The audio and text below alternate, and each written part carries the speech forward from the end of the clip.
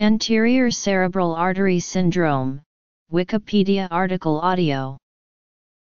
Anterior cerebral artery syndrome is a condition whereby the blood supply from the anterior cerebral artery is restricted, leading to a reduction of the function of the portions of the brain supplied by that vessel, the medial aspects of the frontal and parietal lobes, basal ganglia, anterior fornix, and anterior corpus callosum.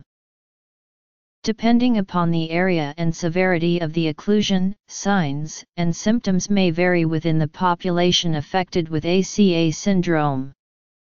Blockages to the proximal segment of the vessel produce only minor deficits due to the collateral blood flow from the opposite hemisphere via the anterior communicating artery. Occlusions distal to this segment will result in more severe presentation of ACA syndrome. Contralateral hemiparesis and hemisensory loss of the lower extremity is the most common symptom associated with ACA syndrome. Signs and symptoms. Diagnosis. Management